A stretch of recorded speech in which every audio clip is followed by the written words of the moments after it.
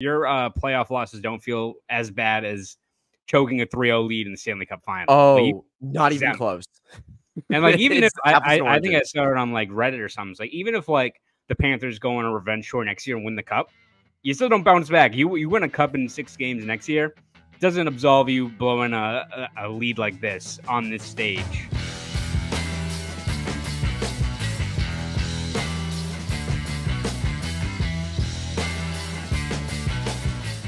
And welcome into the Bruins Beat, presented by CLNS Media. We are sponsored by PrizePicks. Go use that promo code CLNS for up to $100 matched on that first deposit. And we're presented by Gametime. Go use that promo code CLNS to get $20 off that first purchase. Terms apply. I am Evan Marinofsky. That is Conor Ryan. Conor, what is up?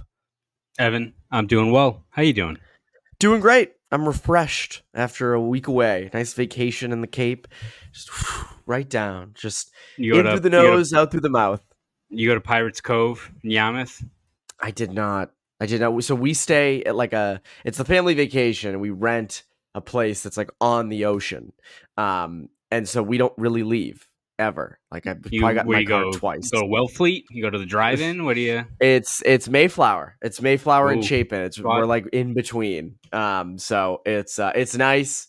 Tide goes out like my like half a mile. So you know when the tide goes out, you gotta you get the steps in, go all the way to the water. Um, but it's fun. I'm actually uh, I I don't know what it is about the beach, but I can crank out books at the beach. Just destroy because there's nothing else to do. Like I can't just sit and stare at the That's water the thing. all I day. mean, like there's only so much you can do. I'm not really a huge beach guy, and that's kind of the reason why. Is that I'll go for like 40 minutes, and then I'm like, all right, like I'm ready to go inside. I'm ready for some AC. I'm ready for some AC and, and, and mingling and having a few beers inside somewhere where there's where it's climate controlled.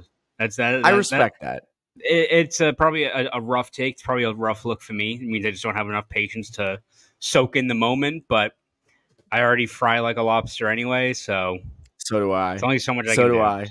Yeah, I have some bad sunburns um, under the shirt, but I'm, I'm going to keep the shirt on on this episode. Okay, I'm good. not going to take the Uh, shirt off quite hope yet. Uh, We're Yeah, not when the there Bruins, When the Bruins trade for Draisaitl, then then we'll change some things around. then, it's, then it's all going to go off the rails. But the shirts come off. Yeah, it's uh, going to the be, be gonna- magically come off. We're, we're going to be blasting LMFAO the entire time. You can't even hear us talking. It's just party rock anthem just playing on a loop the entire time. I think that would be great. I, I think that would work. I think people would love No, love it that. wouldn't. be I think people would love that. No, I think people would love that. Um, but it was good. I actually in the I'm almost done with uh, Ken Dryden's The Game, which I had a prep par- a, a parent come up to me this uh, winter and say, "Have you read that book?" And I said, "No." And he goes, "You've got to read it." And I remember being like, "Nah, that's just some old guy telling you know the young generation to do it." Actually, really good book. I highly recommend it. It's been a great read uh, if you're interested There in you that. Um, you had quite the end of the week last week. You were on a duck boat. How was that? I was shocked when I opened Twitter and your Instagram story and saw the uh, the duck boat, and I, I was just fascinated by it.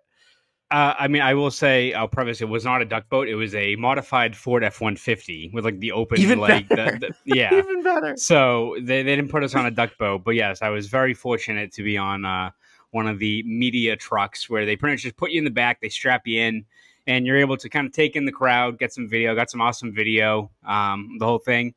Check something off the bucket list. Unreal. The crowd was awesome. I think they said there's about a million people in town that day Looked it was great too. I, I, I was kind of worried, and there was a few times really early on where like, we we'd turn and we'd go down like Cambridge Street, and people would be like, "Woo!" and then they'd see me and like, "Who the fuck is this?" But that quickly dissipated. 'cause I think Oh. yeah, I think uh, enough people were already, I think, uh, had ingested enough uh, libations at that point that it didn't matter if it was uh, a stuffed moose on that on that boat. You know, on that car, people would be losing their minds. So, got a lot of great video. Um, crowd was into it. Doesn't get old. I think that's that's the most important thing, right? Is thirteenth thirteenth title this century. Um, it just shows that you know as as much as we've I think gotten maybe used to it, still feels great. Still awesome. Great to see that team kind of get over the hump. Win doesn't matter. I know this is a Bruins podcast, but we all love Boston sports, and I think to see that group finally win, see the city celebrate again, feels good. Feels back feels back to normal. Feels like things are, are as they should be in this city, right? What was it? Five and a half years? Yeah, Five, like, a long drought. That was a drought.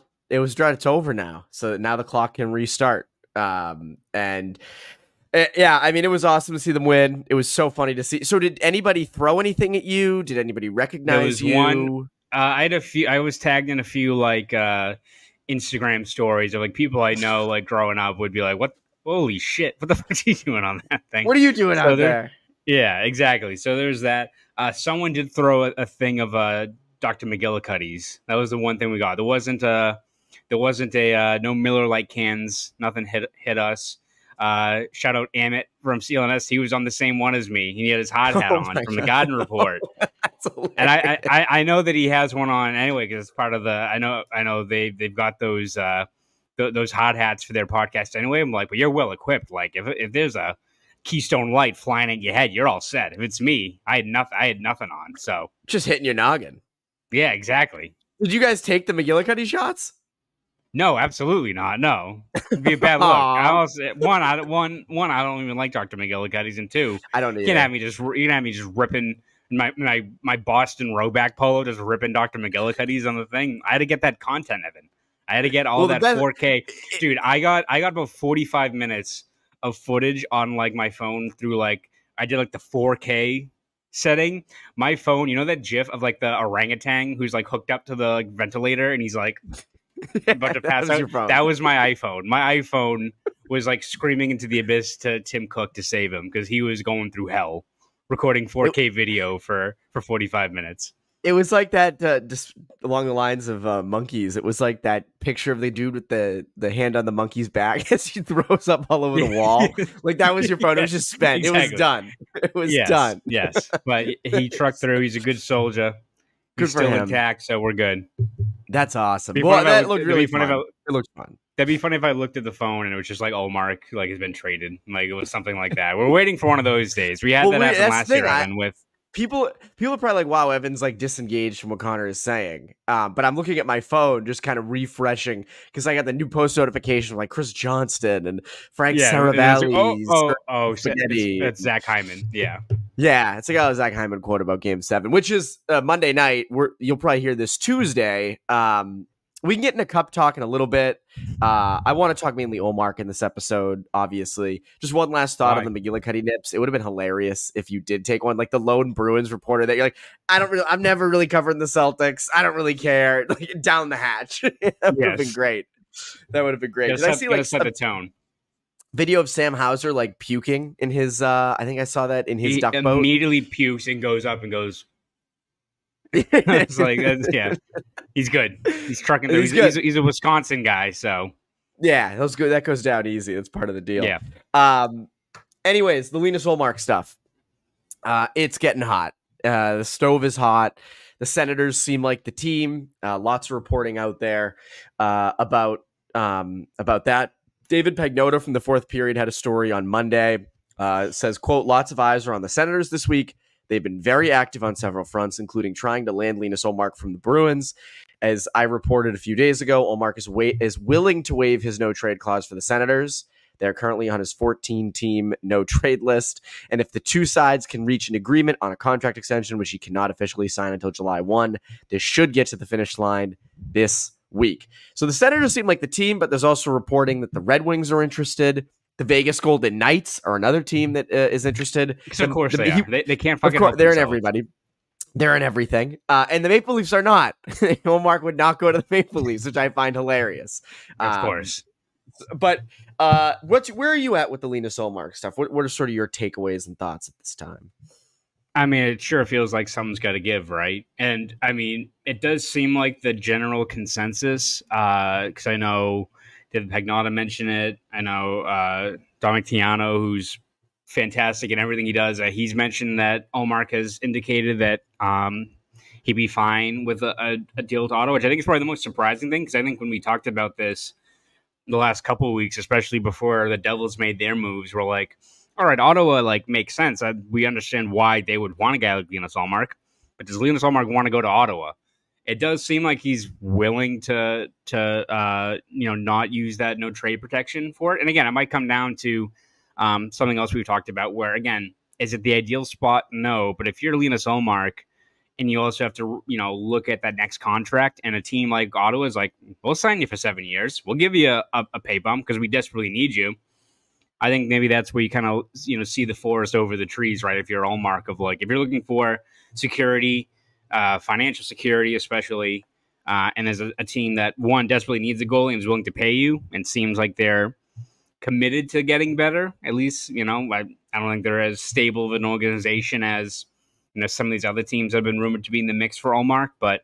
Um, if he's willing to waive that that no trade clause um, and and sign a long term deal, Ottawa probably gets you the best return, I would say, in terms of like if the Bruins are are putting a premium on Ullmark, which they should, right? Like he's younger, he's younger than Markstrom, he's a better goalie than Markstrom. Um, he's got an affordable cap hit this year, and then you ideally whoever gets him gets rights to you know sign him long term moving forward. Um, you sure get a good return, and you look at what Ottawa can offer, whether that's players, whether that's picks in the first round just seems like it's more of what the Bruins kind of need right now. Like Vegas, I don't know what the hell they're doing. Like and like they've got actual like if you're looking for like actual players, then maybe Vegas makes more sense. But like I don't even I couldn't even remotely guess. You can never guess with Vegas because like they just trade guys on a whim, right? But like what what would they be offering? Are you looking at, you know, Shea Theodore, who like I don't know if they're gonna be able to afford him on his next contract? Are you looking at William Karlsson? are you looking at like Tomas Hertl? Are they going to trade Tomas Hertl immediately after trading for him? Right, like that would be like, hilarious. What, like they have guys that you'd probably covet, but I just don't know how feasible that is. And again, those are uh, dangerous things to say about Vegas in terms of I don't know how feasible that is because they'll do it anyway. But if Ottawa is the team that is willing to step up to the plate, and most importantly, Ullmark wants to is willing to waive that no trade clause, you can open the door to a lot of different things that help help the Bruins. Like let's face it, if they move Ullmark and free up the cap space and put him in a spot where he can thrive as a number one, and you you carve out space for Swayman, you're in a good spot. You've got five million to work with. If you're able to then add a first round pick or an impact player or two on top of that, then you're rolling with house money, right? And it does seem like Ottawa, based on the fact that they have multiple first round picks, they've got guys like Chychrun or maybe like a younger forward or something like that they have a lot of different ways to kind of help out the Bruins and make the most out of moving an asset that maybe is expendable, but doesn't mean the Bruins should be like, all right, here you go. Move on with this guy. This guy still has a lot of value in terms of what he can bring to a lot of different teams. Well, I think this is why they're driving the price up so much with the Senators. The Senators are an in division team. And, you know, yeah. we mentioned this with the Maple Leafs. Like, if you traded Ullmark to Toronto, you are making them better, really good, yeah. and a better shot at beating you in the playoffs. Um, now, Ottawa is not on the Leafs level. They're not really even close. But you give that team competent goaltending now, they're a bigger threat. Like, I think there will, mm-hmm. you know, if and when they do get Ullmark, which it feels like it's only inevitable at this point, I think it is going to happen. Um, they're a team that is in the mix. Not to say that they are cup contenders or anything like that, but they're in the mix for a lot of points in the Atlantic and maybe a wild card spot. And like I think that improves them. I mean, their goaltending sucked Dude, last bad. year. Really bad. Horrible. Horrible. So it's an imp- whether their defense is good in front of Linus Ullmark or not, you're getting a severe upgrade, a good upgrade in net, and they're going to be better. And so the, I think the Bruins have that on their hand in terms of, you know, art of the deal type stuff of, hey, let's, you know, we're making you better, a divisional opponent. You got to cough some stuff up for this. And I think the Senators are desperate enough to do it. I always say never count out how desperate a team can be um, when they need something. And you see it all the time. And I think, you know, the Senators are kind of falling in line uh, with needing a goalie. And Linus Ullmark is a fit. And, it, and he would get a big payday, which I think is a big thing of what he wants. And as I say, Conor, go where you're wanted. And in Ottawa, I mean, he would be. So I see Ottawa Senators fans all over Twitter being like, "Steve Staios, please get this done. Please do this because uh, mm-hmm. it would mm-hmm. provide a legit it would fill a need. Uh, in terms of packages in return, what we're looking for the Bruins to get, I want to get to that in a second. But first, a quick word from our friends over at PrizePicks. Prize Picks is America's number one daily fantasy sports app with over 5 million active members. PrizePicks is the easiest and most exciting way to play daily fantasy sports. Unlike other apps on PrizePicks, it's just you against the numbers. All you do is pick more or less on two to six player stat projections and watch the winnings roll in. You can now win up to 100 times your money on PrizePicks with as little as four correct picks. You can turn $10 into $1,000. With the finals over, the hoop action doesn't stop on PrizePicks. Women's basketball is heating up. Stars like Caitlin Clark and Angel Reese looking to make names for themselves alongside greats like Breanna Stewart and A'ja Wilson. You can win up to 100 times your cash watching them ball out. And there's also the MLB. The Red Sox are battling for a playoff spot, and PrizePicks makes the action even more fun. How about that Jarren Duran, Rafi Devers, Tyler O'Neill looks like the real deal too. And I was I was a big PrizePicks fan during the Celtics run to the NBA Finals, and not to brag, but I was a winner. Download the PrizePicks app today and use code CLNS for a first deposit match up to $100. That's code CLNS on PrizePicks for a deposit match up to $100. Pick more, pick less. It's that easy. So, in terms of a return, uh, about a month ago, uh, the Ottawa Sun had reported that an NHL executive had said that a, a return for Ullmark would be like Chychrun, their top first round pick, and then like another pick or a top prospect. And we kind of were like, oh my God, like if that's what it is, then you got to, you know, uh, there's no way that could ever be it. Starting to feel like that actually might be it. And if the Bruins can somehow, like in a trade package, get that Chychrun, a top 10 pick in the NHL draft, and, you know, a future pick or a second rounder or a top prospect, like if that's the return, holy crap. Like that is that is satisfying a need now and that's satisfying future needs too. The question is is that what it is? To me, I feel like it's going to be a variation of that. I think it's going to be, you know, just off, you know, what I've seen and what's been reported. Feels like it might come in a little less than that, you know, maybe a first and a prospect, maybe Chychrun and a future pick. But I don't know, maybe it is more than that. What do you think? Yeah, it's so tough to gauge, right? I mean, I don't think the Bruins are getting the number seven pick, like uh, unless like something is gone. Yeah, I, I don't, I don't see that as being again like if you come away with players and the number 25 and you get a first round pick and you're able to you know add to your prospect pool there that'd be great. Like who knows? Maybe it's concession. Would you want the number seven pick or do you want 25 and player sure. right? Like that's maybe something you you weigh there. Um but it does seem like if the Bruins are are you know putting a, a high price out there for Ullmark, it does seem like a team that's desperate, like Ottawa's willing to pay for it. So if you're able to get like number 25, a guy like Chychrun and like a, another pick or like a prospect, like, you know, there's that, that forward Zach Ost, Ostapchuk, I think is how you say his name. Um, again, I don't think he's, he's more of like a bottom six guy, but six, three hits everything that moves. Uh, a guy that ideally could, you know, fill out and be a key piece of your bottom six moving forward. Like maybe a player like that.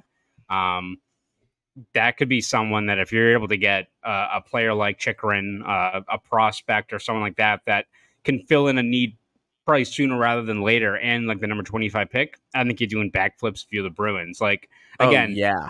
Yeah, you could I mean you could you could make the case that um even if the return is less than that, like it's it's you take one of those things out of the equation, you're still coming away with house money, whether it's a first round pick, um, Chychrun, like again, like we, we talk about Chychrun. I, I think we've talked about him so much over the years that we kind of know what to expect from him. But as much as you know, we've talked about the fact that Bruins need kind of a a Brendan Dillon or a you know Alec Martinez, someone like that. Like Chychrun would make your team better, man. You've got a top 4 100%. with Chychrun, uh, with Chychrun, Lindholm, McAvoy, Carlo, Lohrei, and, and Peeke are your third pair.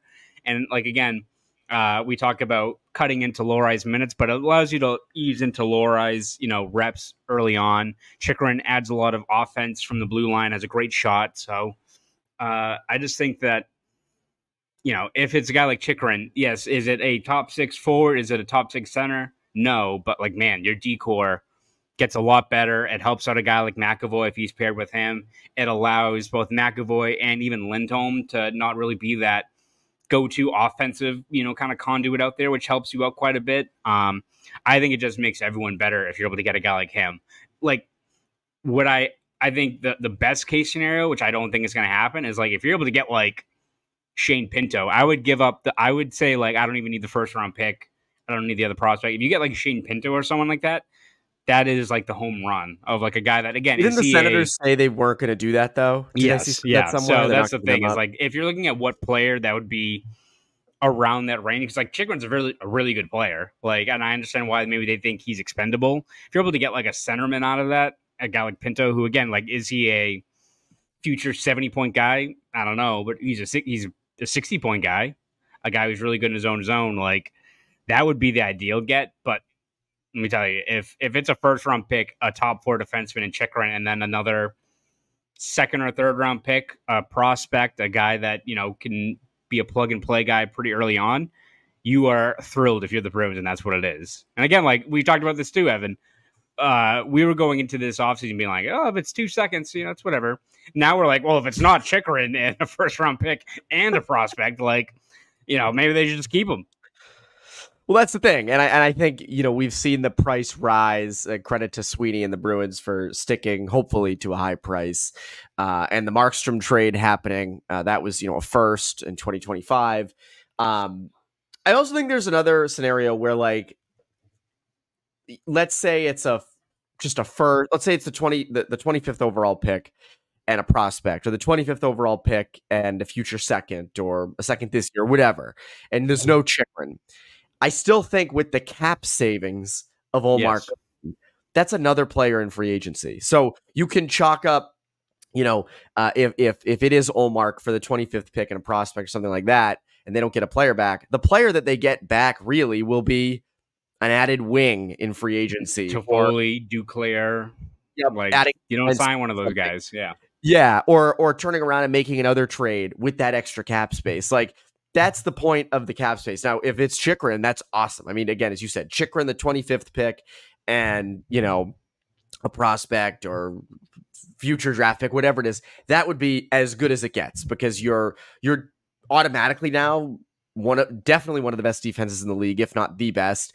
Not to mention you're now kind of fortifying things in front of Jeremy Swayman, so you have a better top four. You can ease low low right into it. So I think that's the best case scenario. But even if that does not happen, and it's a first and a prospect, I think you're still chilling because that's just extra uh, offense you can add. And I think that also changes the identity changes the identity of your team. Because if you add Chychrun, you're going to be stronger in back, but you might be a little bit less up front. Whereas if you don't get Chychrun, you're not going to be as strong in back, but you probably, if we assume they're going to spend their money how we assume they're going to, you're going to be better up front. So to me, like with the way the winds are blowing, this looks like a really good trade for the Bruins when it happens. now, again, who knows what happens this week? Yes. Uh, we could get to minute 29 of this podcast and be like, oh, breaking news Linus Ullmark to the Detroit Red Wings for Lord knows what. And we got to scramble and like, who yes. are these people? Doesn't that? But uh, if it is the Senators, which it feels like it's going to be, um, as you said, I think the Senators kind of have the most to deal. Um, lots of that stuff. There's another element to this, though, and I mentioned it a little bit earlier in division, trading in the division, um, bolstering a divisional opponent. Um, does that would this concern you? I want to get into that, but first, a quick word from our friends over at Gametime. Quick break to tell you about my good friends over at Gametime. I am very excited about the NBA playoffs, and what's awesome is here in Boston, Celtics fans make TD Garden the best atmosphere for a playoff game. Gametime is an authorized ticket marketplace of the NBA, which makes playoff tickets even faster and easier. Prices on the Game Time app actually go down the closer it gets to the tip off. With killer last minute deals, all in prices, views from your seat, and their lowest price guarantee, Gametime takes the guesswork out of buying NBA tickets. Maybe it's the NBA playoffs or it's the MLB regular season. Once the Celtics wrap up, which hopefully ends with a championship, Fenway Park is a great place to spend a summer day or night. Going from TD Garden playoffs to chill, exciting nights at Fenway Park is one of the best times of the year. With Gametime, there's last minute deals. Save up to 60% off buying last minute for sports, concerts, comedy, theater, and there's flash deals. Save even more with exclusive in app deals on select seats ahead of the game or event. And there are zone deals. Save even more when you choose a section and let Gametime choose the seats. Take the guesswork out of buying NBA tickets with Gametime. So, download the Gametime app, create an account, and use code CLNS for $20 off your first purchase. Terms apply. Again, create an account and redeem code CLNS for $20 off. Download Gametime today. Last minute tickets, lowest price, guaranteed. Now, back to the show. So again, Linus Ullmark, if he is to go to Ottawa, uh, they're better, no doubt. I still don't feel like they're in the same class as you. They're not quite there. You know, a lot of young talent for sure. Uh, and we've been kind of waiting for a team like the Senators to emerge over the last couple of years, along with the Sabres and the Red Wings. And honestly, the Sabres would be a team that would be interesting for Ullmark to go back to. I know he does not want to go there. go to Buffalo. He, he will not he go to Buffalo. Will not go back to Buffalo. No. But it I is funny he when you think- evidently clear. Yeah, but if that had never happened, if let's take all that stuff out of it, uh, it would make sense just in terms of they they have the eleventh pick. They're probably going to trade it. Uh, they do need a goaltender, um, so that would work. But again, there's history there that's not exactly great. Um, are you worried? Would you be worried about him going to the Senators and bolstering a, a divisional opponent? Uh, I mean, probably not. One considering, I think just if they're going to pay such a high premium, it's probably going to make it worth it for you. And I think your team is still better than what they provide. Like again, like you hope Ullmark does well in a new spot, but you look at like that D corps, especially if they're taking away a guy like Chychrun. Not to say that he's this, you know, defensive anchor out there. He's got these unreal underlying numbers, but still a good top four guy that eats up twenty plus minutes a night. Like I don't know, like they've got good pieces, but they're kind of like how Detroit has been the last couple of years. Like, yeah, you look at their their lineup and you see like five or six guys, like, all right, that guy's a good player, and then it just doesn't all come together. Whether the defense is disjointed, um, you know, like you've got forwards up front who are good players, but like they're lacking in a pretty like you know Tim Stützle's great offensive player, black hole defensively, right? Like you've got like these Yeah. guys that you know maybe it's maybe that's also just maturity of just few more years developing and you know what the what a difference a a goalie can make. So like I think they'll be better. They'd be on probably on the doorstep, but I think you look at what the Bruins have, um, you know what they were this past year with Jeremy Swayman, who's still getting better and better, with all these franchise guys locked up, with the fact that you either have like a guy like Chychrun, another and you know potential impact player added to a team, and that's not counting the fact that who knows who else you add. You know, is it Elias Lindholm? Is it a Toffoli? Is it a uh, player like that? Is it you know is DeBrusk back? Like you're going to be probably a better team than you were last year, and you're a pretty damn good team. You're a team that gave the the Florida Panthers a pretty tough series, and again they they have their own shit to deal with right now, but. Um, Why? What I- happened? I, Yeah. I, have, I, I have been keeping tabs. but I don't know. Like, yes, Ottawa does get better, but I think you look at where the Bruins are um, and how they should get better, and they're already in a pretty damn good spot right now. You know, it's like I, you make the division better, but I don't think it's threatening your your spot. Now we'll talk about this if we're recording uh, in April next year, and the Bruins somehow miss a wild card spot, and the the Ottawa Senators surge ahead. Then we'll look really dumb, but Or Bruins Senators in I- round one. That would Yeah. be great. but but I personally don't see that happening. So the auto gets better, but I don't think it's a direct threat to you. If you're a team maybe like Tampa Bay or someone like that, maybe you're like, oh, I don't like tho- those guys getting better. Or a team like Detroit, where you're all kind of trying to claw for that wild card spot in a really tough Atlantic, then you're probably like, damn. But I don't know if it's really threatening the Bruins of where they are or where they should be in the next couple years because they should still be in the mix for a division next couple of years the way they're built. if a trade makes you better, doesn't matter who you're doing it with.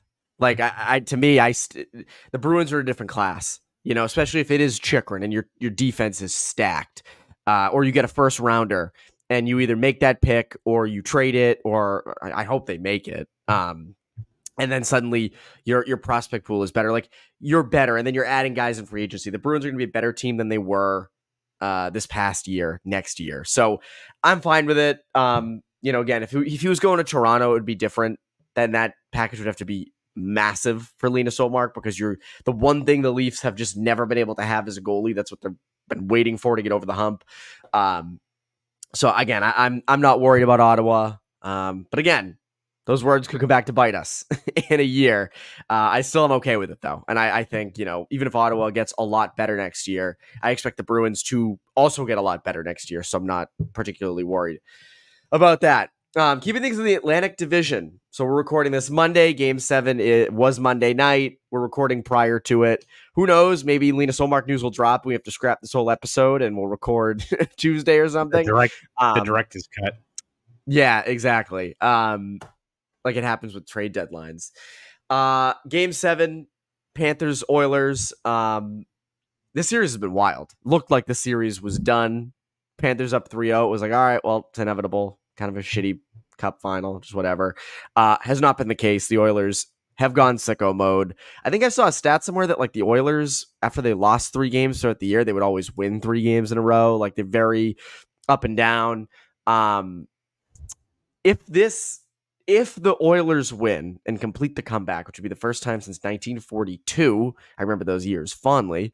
Um, You had a what good time. changes to the oh those great time? The McGillicuddy nips were flowing back in the 40s. I mean, my God, it was just a Maybe great a little, bit, time. a little bit of hottest stuff back then, but Yeah. Well, whenever I think of like the old times, this sounds weird. Remember uh Dave Chappelle did that bit, I forget where, about uh people dancing back then that do like the yes, like, Yes. like that's I whenever I think of the 40s and like the 30s, that's what I think of. Like those stupid dances. Um so yeah, we're doing the dances as the pant as the when I don't know what's I forget what cup it was. We were so busy dancing. I don't remember who the cup was in 1942. Um do the pan what kind of changes do the Panthers make? I mean, they have a lot of guys coming up, free agency. Um did, like does Maurice get fired if they lose? I don't think he does. Like I, like I think he's got them to that point, but like, do they go Yeah. scorched earth? I don't know. I mean, I don't really know what you do. I don't know how you really come back from that, right? Like, and I, I say, how, how do you come back from that? Not meaning like they're gonna go scorched earth and and rip things up. Like, that's gonna linger with you for a long time. Tell you what, Bruins fans rooting probably for the Panthers to lose, considering their playoff history, but also, man, your first round exit does not feel remotely as bad. And I'm sure the Tampa Bay Lightning feel the same way. Your your uh, playoff losses don't feel as bad as choking a 3-0 lead in the Stanley Cup final. Oh, Like, not even Exactly. close. and like even if I, I, I think I saw it on like Reddit or something, it's like even if like the Panthers go on a revenge tour next year and win the cup, you still don't bounce back. You you win a cup in six games next year, doesn't absolve you blowing a, a, a lead like this on this stage. Um, so like if they lose, I don't know. I don't really know what you do. Like you've got a great team. They're not going to be as good next year because you've got these these cap issues coming up. You gotta. You're not going to be able to resign all these players. Like you have to imagine Brandon Montour is gone, which he's already kind of falling out of the equation. Um, few other Yeah, guys like like, replace him with Ekman-Larsson on those. yeah, like, which again, like I don't know how sustainable that is. Um, like I don't know, man. You you just look at the way that team is built. Like Sam Reinhart, are you are you gonna lose in this fashion? And then you're like, well, now we got to give Sam Reinhart ten and a half million, and he's a good player. he scored fifty seven freaking goals. Like, Yeah, but you have to weigh these things, and all these all these cap headaches, all these tough decisions would feel so much better if you had a, a, a ring and a Stanley Cup to validate it all. If you don't have that after two back to back years of, of coming up short and losing in this fashion, you're in a rough spot. Which, if it happens to a Florida Panthers team that I don't think anyone in the NHL likes, great team when they're playing well. But man, you look at all they've done the last couple of months, the respective fan bases they've pissed off between the Bruins and the Rangers and the Tampa Bay Lightning and a whole bunch of other teams that I think even impartial fans are watching and being like, we're rooting for the Bruins and the Rangers. Something's gone haywire here. Uh, exactly. It would be really rough. We- I- I'm just saying it would be really rough to see a team like that come up short after all that's gone on the last couple of months. So we'll see. real shame. Real shame. Again, maybe they won. That's the thing. Yeah. You're, you're hearing this probably They the next could they could win. Yeah. They could win. Um, epic collapse if they lose, though. I mean, I like. I think that's the biggest thing. And you look at the Oilers on the other side. Similar story-ish to the 2019 Blues. Down and out at the beginning of the year. They changed coaches, um, and ever since it's just been terrific. And Yeah. you know, down 3-0 to stage the comeback they have. McDavid has just been on a completely different level. Um, I- like there's not much you can say. I mean, I saw the Athletic did like a ranking of Stanley Cup finals since the uh, lockout in 05 and they have this one number 1 already.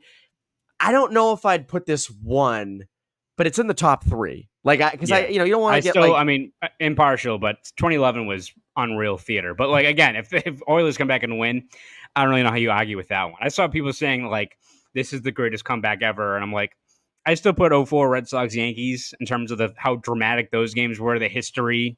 Like again, yes, the Florida, the Florida Panthers the it's not the New York Yankees, the Red Sox, it's the Florida Panthers. Like, so this is my thing, and this is why I don't think it's the number one Stanley Cup final ever. And again, maybe tonight Game Seven is a thriller, and we're like, you know, it's like all right, double well, never mind. yeah, yeah, like this is way better, which honestly would rock because after this ends, it, it, falls off a cliff in terms of sports to watch.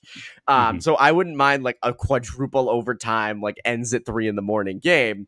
Um, however, uh, it's the Panthers. Like that's really what's I think holding this back in terms of like, yeah, it's they're a hateable team, but like it's Florida, you know, and I know mm. that they've built themselves up and that's terrific, but if it's Oilers and Bruins or Oilers and Rangers, I think it's a different there's a different vibe, there's a different feel. The history is there. Um, whereas with this Panthers team, you don't have that. And I think that's sort of what's holding this back from being number one. I did see a tweet last week about, oh, if they came back, this would be more impressive, as you said, than the 04 Red Sox and the 28 to 3 in the Super Bowl. I actually wouldn't put either of those above those. Um, and I know I'm a Boston fan, so like, you know, I guess I'm biased, but like the Yankees had the Red Sox number for like decades. Decades. Forever. Yes. Forever. Since Babe Ruth was traded.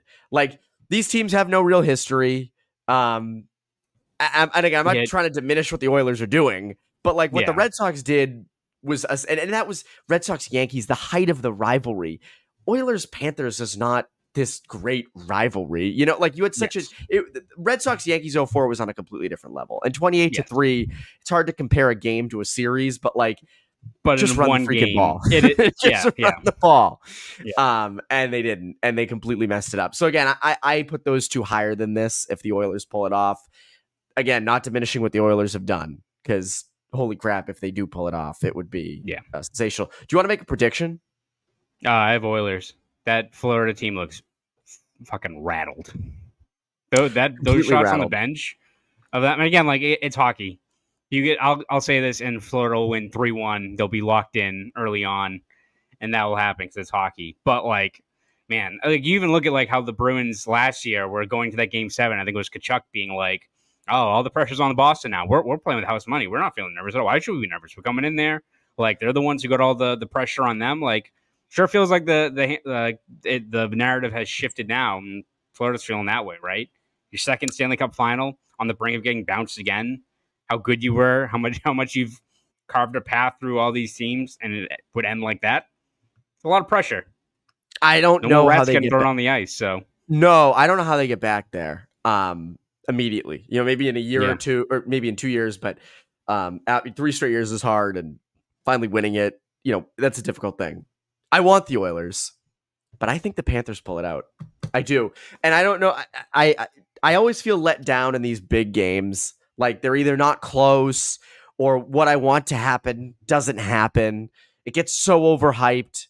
Um, and I also feel like the Oilers peaked a little bit in game six. Like it, it, was such a fever pitch of holy crap, they're doing this and then go, you know, and I, I, I completely agree. The pressure is fully on Florida. Like I'm not saying it's not on the Oilers. It isn't. Um, but I just feel like the Oilers might have peaked a little bit. And I just have this bad feeling the Panthers are going to pull it out. And that's how I feel. And I, I just, the way a series goes, um, I don't. It doesn't really matter that they're at home. I just think like they've been so humiliated that the only way it is up, and I just think yeah. that that's what's going to happen. But hopefully, I'm wrong. Hopefully, I'm wrong because boy, would it be funny if the Florida Panthers blew a three nothing lead and it just blew up in their face and uh, it continued on. But we'll see what happens. Should be hell of a game to watch. Um, again, we've already people have already seen it, but I guess we're already discussing things that have that have happened. Uh, Conor, what can the people look forward to from you over at the Globe and Boston.com?